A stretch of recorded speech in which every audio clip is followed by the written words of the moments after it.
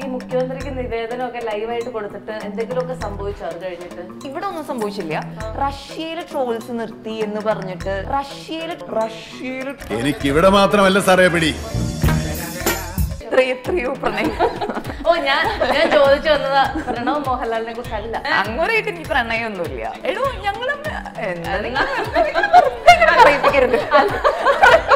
മോഹൻലാലോ ലാലേട്ടനോ വിളിക്കോ പറയോ എന്തെങ്കിലും ചെയ്തോ? മിക്കവാറും എനിക്ക് ഒരു ചീത്ത കേൾക്കാൻ സാധ്യത ഉണ്ടെന്ന് തോന്നുന്നുണ്ട് ലാലേട്ടന്റെ കാരണം എന്നെ പറ്റി പറയണത് ഓക്കെ ആ കുട്ടീനെ പറ്റി പാവം.